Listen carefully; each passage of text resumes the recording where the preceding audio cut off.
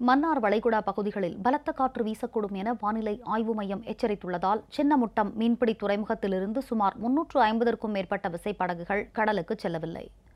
கன்னியாகுமரி மாவட்டத்தின் சின்னமுட்டம் மீன்பிடி துறைமுகத்தை தங்குதளமாக கொண்டு சுமார் நான்காயிரத்து ஐநூற்றுக்கும் அதிகமானோர் மீன்பிடி தொழிலில் ஈடுபட்டு வருகின்றனர்.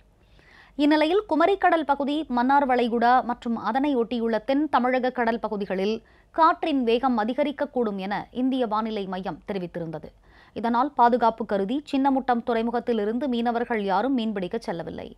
இதன் காரணமாக சுமார் முன்னூற்று எழுபதற்கும் மேற்பட்ட விசைப்படகுகள் சின்னமுட்டம் மீன்பிடி துறைமுகத்தில் பாதுகாப்பாக நிறுத்தி வைக்கப்பட்டுள்ளன.